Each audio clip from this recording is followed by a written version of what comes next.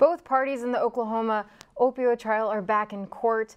Threats interrupt school activities in Norman and Stillwater, and Norman's main library is on the move. This is OU Nightly.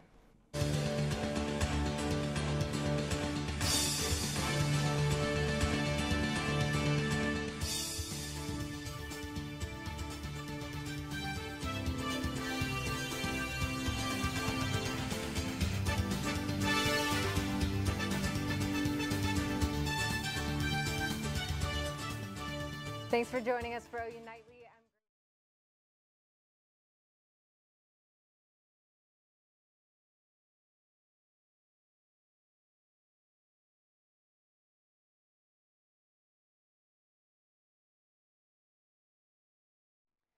Yeah, guys, I will get to the uh, resignation of Andy Lester in just a moment, but after an appeal process in the historic opioid trial, Judge Thad Balkman hears testimony from both sides on the ruling he made two months ago. Experts from both sides gave how they felt regarding the abatement plan, and here's what we know. In August, Judge Balkman awarded the state $527 million, 107 million in just the first year alone. Attorney General Mike Hunter calls this the final chapter. He also asked to hold Johnson & Johnson accountable for the crisis in our state. Judge Thad Balkman acknowledges there's a possibility for a math error in his August 26 ruling. He says, I'm going to take my decision on the other remaining matters under advisement, and in my forthcoming ruling, I will include the correction to the math error. Another aspect to this trial is Oklahoma State Board of Regent Andy Lester announced his resignation 30 minutes before the trial started because the state called into question his involvement in the Johnson & Johnson appeal process. Back to you guys. Thank you, Aspen. Oklahoma lawmakers are getting a pay raise and a hefty one at that. The average legislator will go from making about $35,000 to making $47,500 a year. That's more than a 35% pay hike. The Legislative Compensation Board voted for the increase. They say it's needed to attract quality lawmakers in the state. Several Oklahoma schools had to quickly react to threats today. Norman High School went on lockout after receiving a possible threat by phone. And in Stillwater, Oklahoma State University took precautions after reports of shots fired at the university library. No credible threats were found at either location. We got a little taste of some cooler weather these past few days, but now it looks like warmer weather is back. That's right. Bradley Weber joins us with what to expect in the seven-day forecast. That's right. So we actually were warmer today. We actually got into the lower 80s, but a cold front just made its way through. You can see it's warmer down towards the south and a little bit warmer off towards the north, especially bringing with it those strong northerly winds, bringing with it some cooler air. Now coming up, I'll be talking about how cold we will get and how long this cold weather will last for us here in central Oklahoma. But for now, back to you guys at the desk. Thank you, Bradley. With the U.S. out, Russia steps in to aid Syria. Sinclaire has more in the news center. Thanks, Grace. After the United States pulled military forces out of Syria last week, Russia has decided to step in. Turkey launched a threat into northeastern Syria last week. Syria's government has teamed up with Syrian Kurdish leaders to enforce the border. Russia stands behind Syria, and according to Def Russia's defense ministry, units are now patrolling the northwestern boundary between Syrian and Turkish forces. Russia hopes to prevent a war between Turkish and Syrian forces on the ground. Rudy Giuliani attorney has informed Congress that Giuliani will not be providing documents to the impeachment inquiry. These documents were requested by House Democrats' impeachment subpoena. Giuliani has decided to part ways with his personal attorney, Jon Sale, who has represented him throughout all impeachment matters. Giuliani has not announced if he will be rehiring a new attorney for himself. Fort Worth police officer Aaron Dean is out of bail after being arrested and charged with murder. Dean, who resigned yesterday, shot and killed Atatiana Jefferson in her home Saturday morning. He was checking on the residence after a neighbor reported an open door. Interim Police Chief Ed Kraus says there will be absolutely no excuse for the shooting. Human life is a precious thing and should not have been taken from Miss Jefferson. This incident has eroded the trust that we have built with our community, and we must now work even harder to ensure that trust is restored. The case has been referred to the FBI for possible federal civil rights violations. Back to you in the studio. Thank you, Sinclaire. Norman will be opening a new and improved Central Library next month. OU Nightly reporter Scott Haas has the latest. If you've been to the Norman Central Library recently, you might have noticed they're missing some books. That's because they're currently in the middle of moving to their bigger and more advanced building. You know, it started with the Norman Forward bond approval, really, in 2014, and then we started um, sharing our ideas with everybody, and then things went out for bid. I think they started actually doing some building in 2017, and here we are in this beautiful new facility. In addition to housing thousands of more books, the library is also going to be embracing many new features and technologies that put an emphasis on the future. We have makerspace where you can, you know, use a laser printer, you can use a sewing machine. We have all kinds of things you can do in there. It has a sound lab and a video lab. So, especially, you know, people who are into that kind of thing, we're raising the next generation. The new building, which is north of Andrews Park, covers about 80,000 square feet and costs around $39 million. It has an area for kids, teens, and adults, as well as an outdoor balcony and plaza. I'm really excited. It's beautiful, um, so much natural sunlight and beautiful colors and comfortable chairs and new books and spaces. Um, I think it's going to be a wonderful change for everybody. I think the community is really going to love it. The grand opening for the new Norman Central Library is November 3rd, but before then, they'll have a Book Brigade event where a giant line will form between the old library and the new as books are transferred one by one. That's scheduled for October 27th. Scott Haas, OU Nightly. The ribbon cutting ceremony for the new library will be Sunday, November 3rd at 2 p.m., where they'll have food and games for all ages. Being able to run to the grocery store is something many people take for granted. Find out what Oklahoma City is doing to help a community after their last grocery supplier shut its doors. Plus, stick around to see why some believe climate change could bring an Ebola outbreak to the U.S.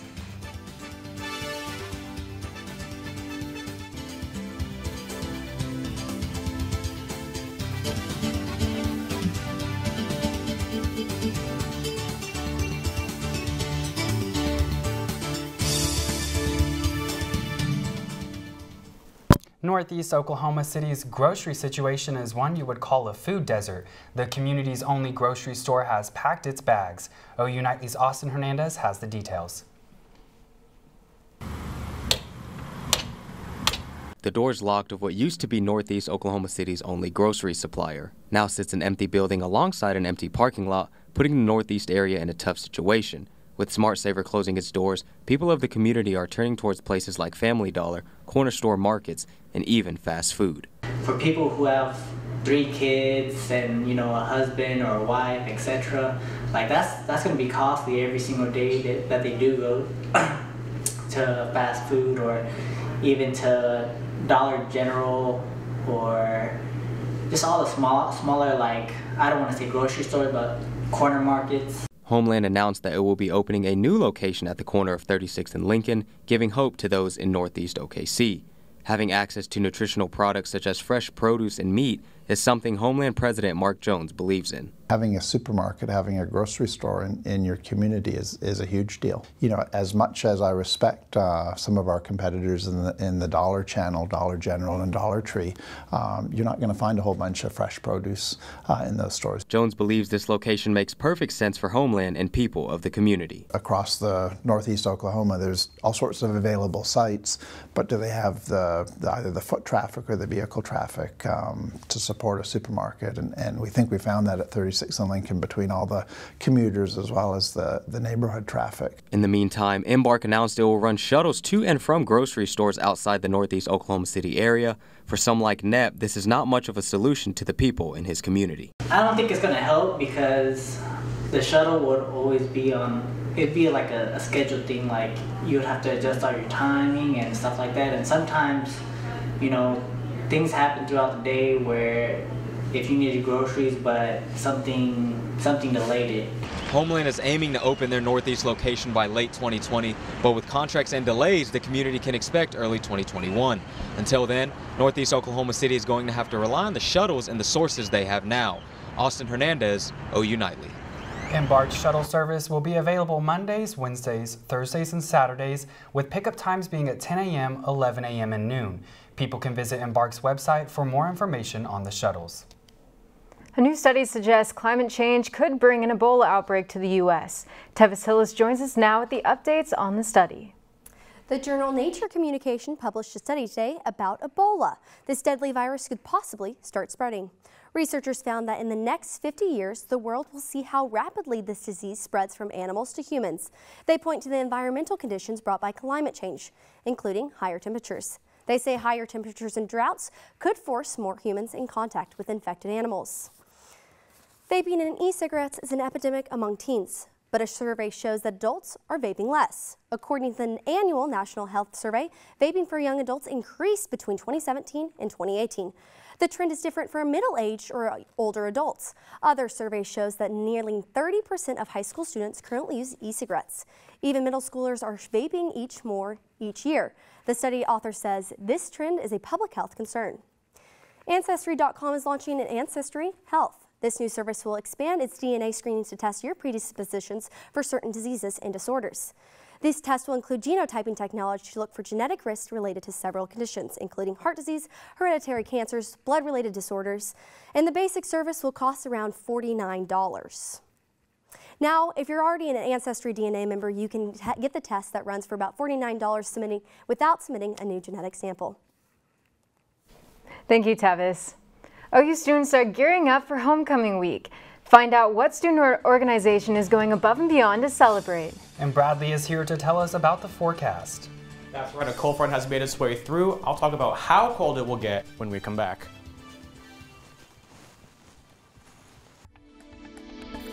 Welcome back to OU Nightly. We're looking live outside right now in Oklahoma City. You got some clouds out there as a cold front has made its way through. It is currently 70 degrees. We have those winds out of the north at 22 miles an hour, so it's pretty breezy out there. And we're a little bit on the moisture side at 62 being our dew point. Now just another look at that current temperatures graphic. We see that cold front that made its way from the north down to the southeast. It's a little bit warmer down towards the south, 90 in Ardmore, but here in central Oklahoma, we are in the mid 70s and cooler off towards the northwest. Now, how cold are we going to get? Well, here's that cold front right here. It's going to move off towards the southeast. And then as we're waking up really early Wednesday morning, it's going to be time to break out those winter jackets. 42 is going to be our low for Wednesday morning, and even colder up towards the north in Kansas in the 30s. But going throughout our day tomorrow, it's going to be climbing back up into the 60s. 63 is going to be our high for tomorrow. And then Thursday morning again, it's going to be another morning where you're going to need that jacket. 41 degrees here in Norman, 40 in Tulsa, in the 40s up in Kansas. But then we're going to warm back up into the 70s, so not as cold as it was on Wednesday, but still going to be in the 70s for your day on Thursday. Now tracking tonight, we're going to cool off quite a bit. 65 by your 8 p.m. hour, cooling off to 56 by midnight. Lows tonight are going to be in the 40s. And then tomorrow, you're going to want to have that jacket if you're waking up early, 45. And then we're going to warm back up into the 60s for your highs tomorrow. 65 is your high here in Norman. It's going to be a beautiful day tomorrow and Thursday, a little bit warmer for your day on Thursday. And then this weekend is going to be a little bit warmer, 76 for Saturday, 82 for Sunday, before another cold front makes its way through on Monday. And then our highs are going to be in the 70s, with lows being in the 50s for your day on Monday and for Tuesday. Now, I know that this cold front is not going to bring us cold weather for a very long time, but I'll take what I can get.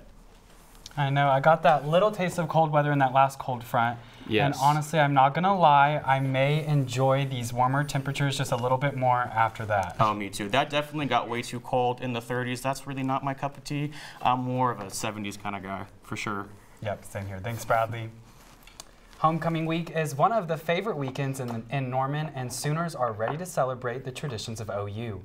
The Black Student Organization kicked off Homecoming Week with their theme of Area 51. BSA engaged in the campus's Activities Council Trivia Night and took home the Most Spirited Award.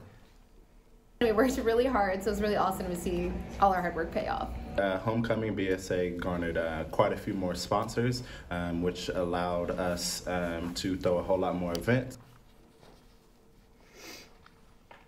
Check out their page on Instagram at OUBSA Homecoming for more information about upcoming events. This past weekend was an exciting one for OU football fans. However, the excitement doesn't seem to stop here. Right, Shannon? This is true. Well, you guys, we have a live report on how the Sooners are prepping for West Virginia this week. And not only are current Sooners on the move, so are former OU players. Find out the latest. Sports is next.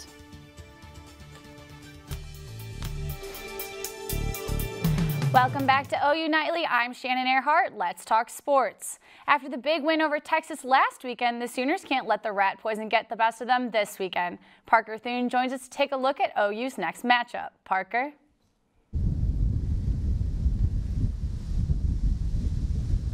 Hey Shannon, it was a tempestuous Red River showdown this past Saturday, but obviously in the end, the Sooners took their ground back and battled their way to a statement victory at the Cotton Bowl. Now, Lincoln Riley was about the only Sooner in the building that didn't throw the horns down at some point, and while he took pride in the win, he certainly made his team aware of the dangers of a post-Red River hangover. Always, always very special, but it's over and time to move on to West Virginia. So we're looking forward to, to playing these guys, uh, coaching staff that you know we're all pretty familiar with. We feel like that we the only reason that we've been stopped is because we've stopped ourselves. So if we can eliminate those self-conflicting injuries, then I feel like we're gonna we're gonna excel a lot better than we did last year. Now, this Saturday, the Sooners will host a streaky West Virginia team that may be without its starting quarterback, Austin Kendall. Now, if that name sounds familiar, well, it should. Kendall transferred to Morgantown over the winter after beginning his collegiate career at OU. Now, one way or another, the Sooners are going to bring a high powered offense and a strong defense into this game, which the Mountaineers are going to have plenty of trouble contending with. Now, whether or not Kendall plays, he's currently listed as questionable. But if he's unable to go, that may make the 33 point spread even larger. Shannon? Thanks, Parker. It looks like there's another option for the Sooners to go pro, and it's called the XFL. And yes, their draft is actually happening. And it looks like Bob Stoops is bringing the gang back together, starting with Landry Jones, Jeff Badet, and yes, that's Dimitri Flowers on the screen. Stoops and the Dallas Renegades can use the versatile Flowers in a number of ways. Flowers scored 13 touchdowns in his Sooners career and once filled in at tailback, running for 115 yards against Iowa State. The draft for the D-line started at 3 p.m. and there's Sooners still left on the board. And Game 3 of the American League Championship Series is underway in New York.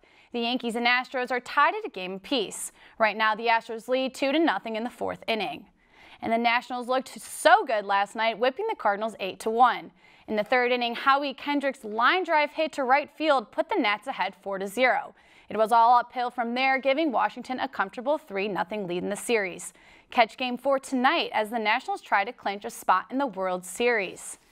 The Detroit Lions were beaten on Monday Night Football by the Green Bay Packers 23 to 22, but it was the refs who really robbed Detroit. Lions defensive end Trey Flowers was caught with a pair of illegal use of hands penalties, which is confusing considering his hands were placed on David Bakhtiari's shoulder pads. And for four years he's been in the NFL, Flowers has never been called for the illegal use of hands penalty, so I'd say the refs made two pretty bad calls. And I have to say, I am a Bears fan, so I don't like to see the Packers win, but I mean, it is what it is. So you definitely feel like they were robbed a little bit? Oh, completely. Awesome. Well, I'd agree with you, Shannon. Thank you. You may remember the dress that became an internet sensation. Well, we've got a new one for you. Stick around to find out what it is next.